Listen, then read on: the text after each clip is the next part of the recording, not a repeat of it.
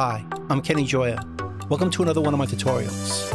In this video, I'm going to show you the main alt recording action section in Reaper. As you probably already know, to do anything in Reaper, we're going to have to use actions. And we can see them all. If we go up here to the actions menu, show action list, and we can see all the actions in Reaper in this window. And notice there's quite a lot of them. And over here are the keyboard shortcuts that trigger them. But if we go over here on the section, there's different contexts where each set of them will work. Besides the main one, we have the MIDI editor, event list, inline editor, and the media explorer. Separate areas for different keyboard shortcuts to work. But we also have this section over here called main alt recording. And if we choose this, we see all the same actions in this window that are in the main one. But the difference is there's no keyboard shortcuts that go with it, at least not by default. So we could use this to completely turn off our keyboard shortcuts during recording.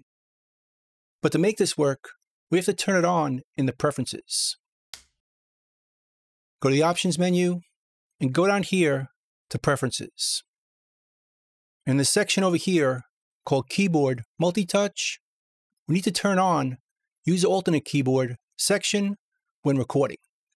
Otherwise, it doesn't work. So if we choose this, now we can go back to the actions menu under the alt recording section, and only the keyboard shortcuts in this window are going to work during recording. But like I said, it starts off with none of them assigned, which is very useful when we want to ignore our computer keyboard during recording. Let's say we're recording a live performance or a podcast, and we don't want to accidentally hit our keyboard and stop the recording. Having this on will perform that function. So if I go into record and record some guitar, I can't stop it hitting the space bar or any other keys. It won't stop. The only way we can stop it is hitting the button on the transport, the stop button.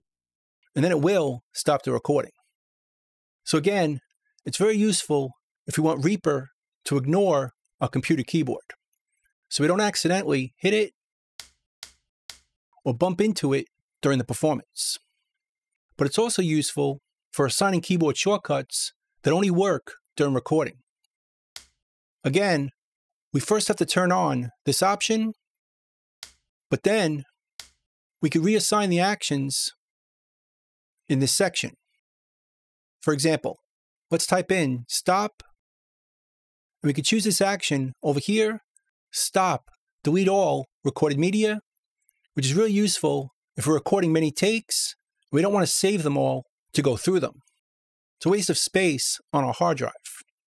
So we can assign a keyboard shortcut to this, which will stop the recording, but also delete anything we recorded. So let's assign a keyboard shortcut to this. And I'm going to use the D key, which you probably know that normally if we use the D key, it opens up dynamic split. But during recording, it's going to stop and delete the recording. Let's give it a try.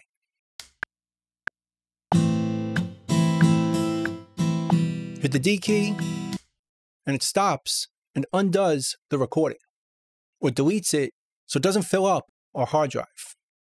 Do it again. Hit the D key to delete that recording. Now, if we want to save the recording, we can just assign a different keyboard shortcut for that. This one right here, stop, save, or recorded media. Let's assign this to the S key. And as you probably know, that the S key normally splits our items, but again, this keyboard shortcut is only going to work during recording. So if we type S, now it's going to split the item But if we do it during recording, type S, it's going to save that recording. So very quickly, we could redo during the recording by typing the D key, record again, type the D key,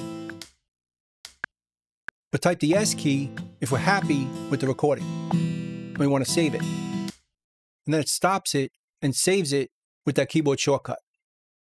This is also useful for custom actions.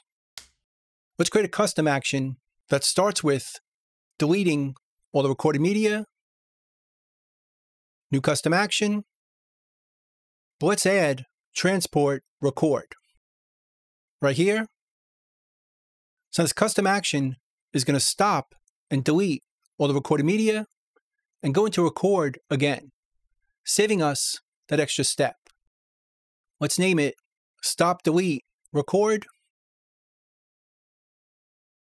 And here's that custom action. And let's reassign the D key to this. So now, if we hit D while recording, it'll undo the recording and delete all the media, but start recording again. Very useful when we're recording many times until we get the right performance. Going to record, hit the D key if we're not happy with the performance, and it starts recording again. And just do that until we're happy with the performance. Then we can hit the S key, and it stops it and saves it. We can do the same thing when recording takes. Let's say we want to save each take, but quickly record another one. We could choose this one to create a custom action with new custom action. And again, we'll add the transport record. But this time, it's going to save the recorded media, but go back into record to record another take of the performance. Let's name this stop, next take, record, and save it, and give this custom action a keyboard shortcut hitting the T key. And again, hitting the T key normally switches our takes, but during recording, it's going to stop and save it and record another. Let's give it a shot. If we're not happy with this take, hit the D key. It does it again. If you are happy with it, hit the T key, and it starts recording another take hit it again to record another.